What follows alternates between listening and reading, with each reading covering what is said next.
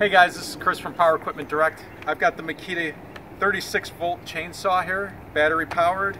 It's very powerful. I love this chainsaw and I just want to give you a quick demo on this, how simple and easy it is to use. But first of all, make sure you have your PPE on before you're ready to go. Your battery's fully charged. Put your chain brake on. Hit the power button. Make sure this is engaged and then you're ready to go.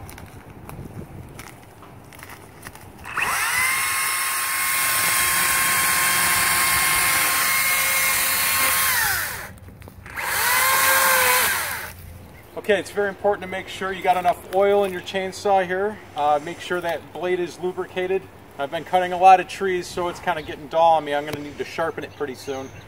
But uh, I'm going to plan out the path of this tree to kind of go this way.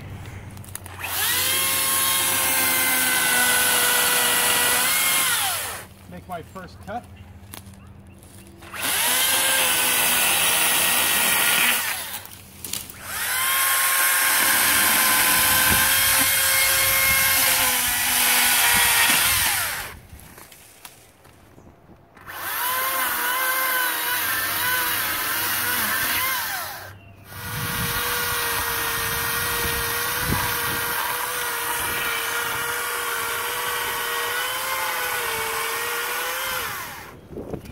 And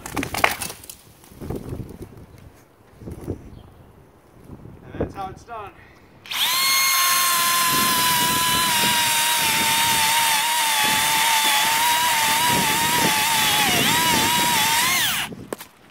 Okay, see I cut down this whole tree here, processed the limbs, now I'm cutting it up into uh, logs. And on the single charge, I still got plenty of battery life, even with a somewhat dull chain.